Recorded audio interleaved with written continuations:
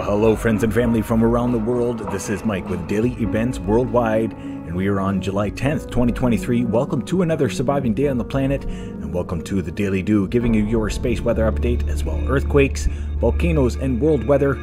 We're always starting out here looking at our sun, 304 angstroms, as we do have still eight sunspots earth facing right now, and as well a couple coronal holes to talk about getting ready to turn in.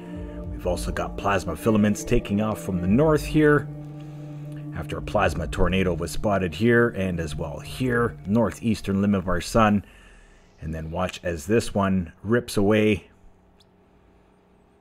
right there, and as well another explosion on the backside of the sun. We've seen multiple solar flares over the past 48 hours. Current space weather conditions, we are under R1 radio blackout, are expected. And as well, just recently, we did detect an M class solar flare. So, two M class solar flares the past 48 hours, multiple C class flares, and solar flux is definitely up. We'll get another look at our sun here at another light.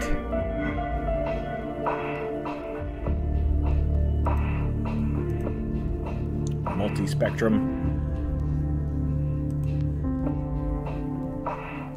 This is where we do have a southern coronal hole here region, and as well building, we have an equatorial coronal hole just in the last few frames. So here we're able to see two M-class solar flares and as well multiple C-class solar flares coming from 3354, very active sunspot region. And as well, I showed you the last video, we did have a very large sunspot region cresting in the southern hemisphere. And that is now at an Earth facing view.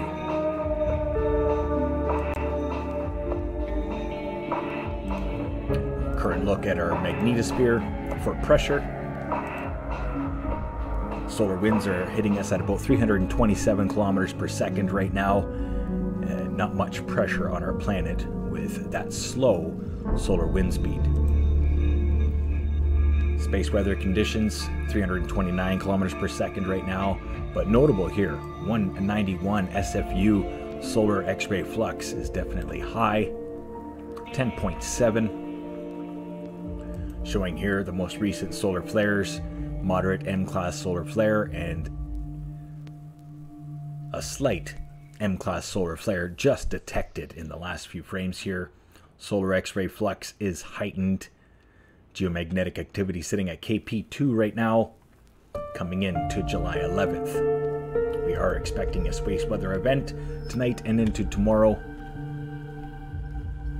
Give a quick look here at our latest ISWA space prediction spiral, showing the backside CME blast towards Mercury. That is an intense CME blast from the backside of our sun. This is Earth, a little yellow circle right here, Mercury coming around the backside of the sun.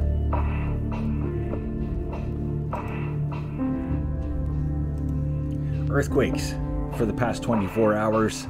Just recent, about two hours ago, reporting a 6.6 earthquake east of the Virgin Islands. Large 6.6 earthquake rocking Codrington, Antigua, and Barbuda followed by a 4.4, I believe, aftershock just southwest. as 4.2, just southwest of the epicenter of the 6.6. And another one just recently east of Puerto Rico, Virgin Islands, reporting 3.3. Most recent was a 5.1 here, East Pacific Ridge, notable earthquake here down in the South Sandwich Islands. Was a 4.6. Quiet across the North American plate, not too much to talk about. Sizable 5.1 earthquake. Iceland, and we've seen over 2,000 earthquakes in the region, but just recently it has slowed down, especially after the 5.1 here but still eruption may be imminent through the region.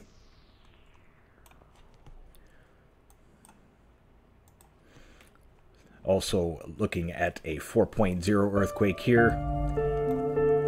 Severnaya Zemlya, North Russia, in the Siberian Sea. North of Siberia, North Atlantic Sea. As well, lots of activity here through the Philippines.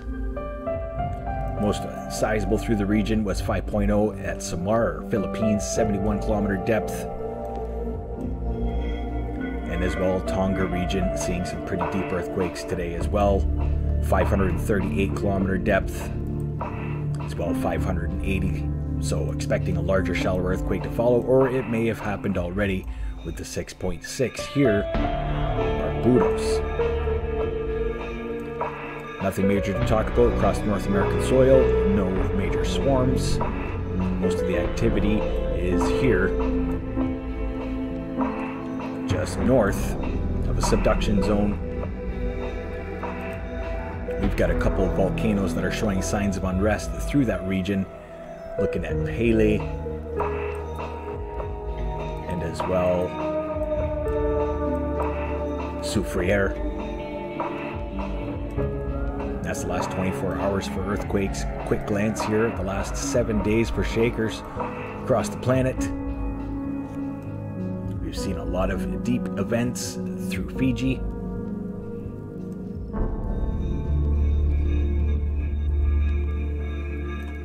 Increasing activity up into China, Tibetan Plateau.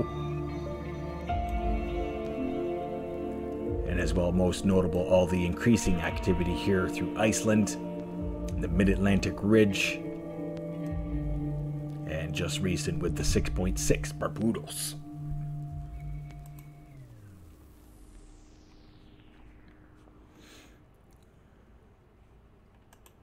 Just wanted to show you here. This is a look at all the active and erupting volcanoes across the world, also showing volcanoes showing signs of unrest. There are an active and erupting 48 volcanoes right now. Give you a quick look here, closer view at all of the earthquakes that are occurring at Iceland.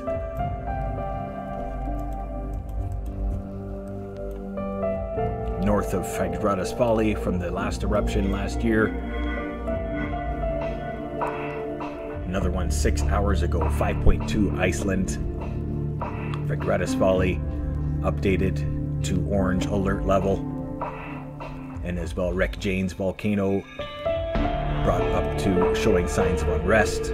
July 7th, and the same day, Eldey volcano. This is submarine volcano, very small island volcano just off the tip of Iceland.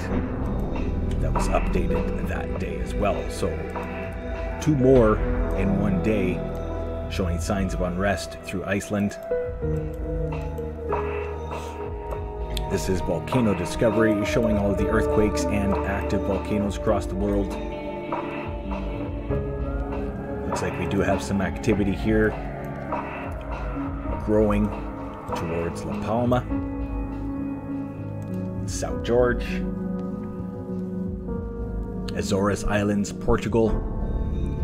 These are all in the last four hours, but just recently 2.4, 2.5. So a small swarm occurring west of South George and La Palma. La Palma's right here. So active day across the planet for earthquakes and as well volcanoes as we have 48 that are active and erupting across the world.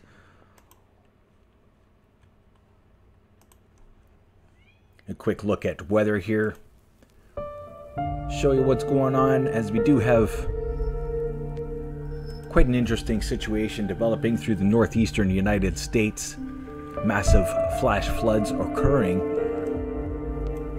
through New England and northward into Maine, with a huge low pressure system here being fed with more moisture from a large low pressure system south of Hudson Bay you can see straight across from northern BC and the Yukon, a lot of upper level smoke is being swept across Canada and the United States, heading into Ontario right now. no major tropical systems. Tropical disturbance 94E is active and heading straight westward. Other than that, no major tropical systems here developing.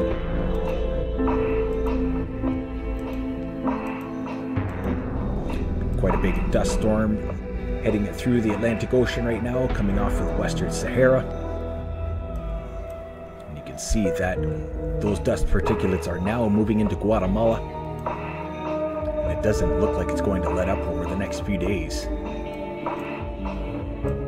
So wildfires still burning through northern BC, Alberta, and the Yukon, up in the Northwest Territories. But we've also got some fires that are burning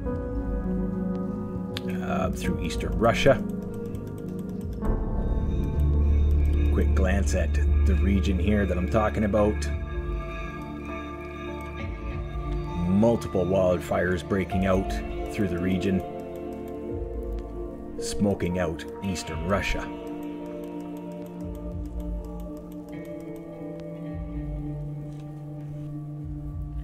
Much love, everybody. Stay aware and prepared, and thank you for tuning in tonight. I hope you enjoyed today's update. Not much of a forecast here.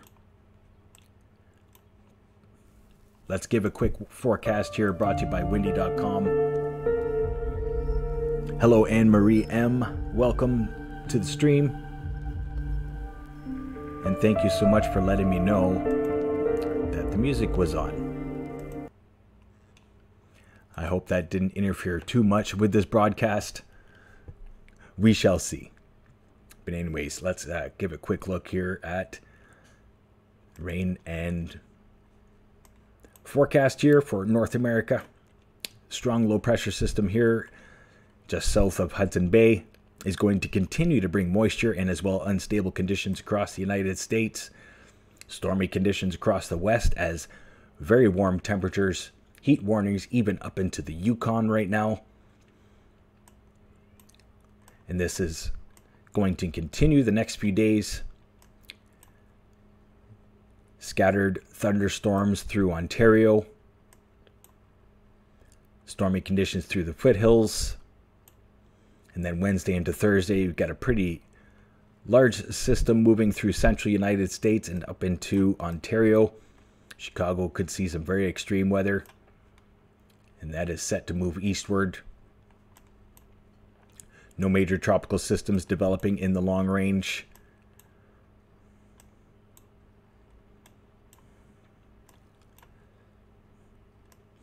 Still lots of moisture heading through Europe. Apparently I need to sign in here.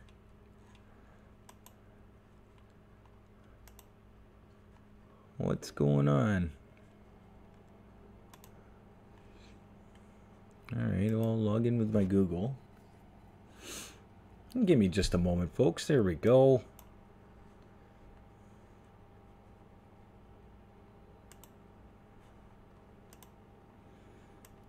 Okay, so yeah, lots of moisture heading into Europe this week. Low pressure system right now over United Kingdom. Lots of monsoon rains for Southeast Asia and as well central regions through Papua New Guinea. No typhoons or cyclones to talk about in the long range. And still some very large and vigorous systems south of Australia set to bring in waves of moisture through southern Australia and Tasmania.